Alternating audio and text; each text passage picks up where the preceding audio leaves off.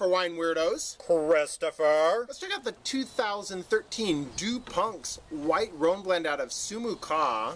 El Dorado. We're big fans of the Sierra foothills. Yes, we this are. is a affordable wine coming in at $20, about 13.2 alcohol by volume. 122 cases produced, so small production, gorgeous in the glass. Neon yellow Yep. and aromatics. You go So, for it. oh, they're exquisite.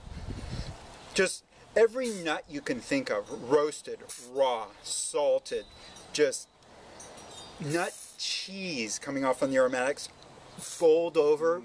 by tropical and pit fruit, mm. melon, pear, grass, just a slight, slight dusting of oh. white pepper on the aromatics. I think we got another hit from Sierra Foothills. I'm a big fan of this. This is 25 Viognier, 25 Marsanne, and 50 Roussanne. And wow, it's kicking. The Viognier is rounding out, but the Roussanne and the Marsanne are bringing a little bit of spicy action, some floral things going on. Beautiful apricot and pear.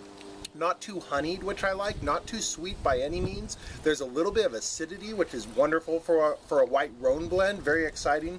But mostly I'm just I feel like I'm getting more of that again like the pine and just the the mm-hmm. different elements of the area that are different than you would find in maybe a white Rhone blend from Paso or from the Rhone. I'm excited. This is making me excited. Yeah. What I get the sense of is a Yosemite Valley trip, springtime, upper falls coming down.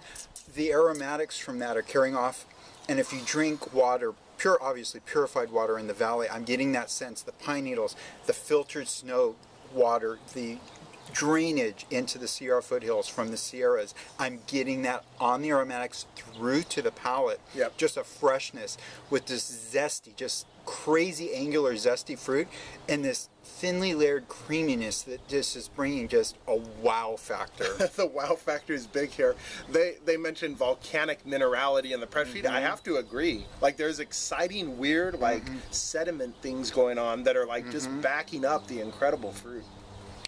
Twenty bucks. I, I think you guys need to go seek this, this, out. this is another one. Get on it quick because somms are going to be serving it in Michelin star oh restaurants. oh my gosh, they are Great- Without a doubt. Yep, agreed. Good stuff from Deux Punx. We'll be back with more on Wine Weirdos. Cheers. Cheers.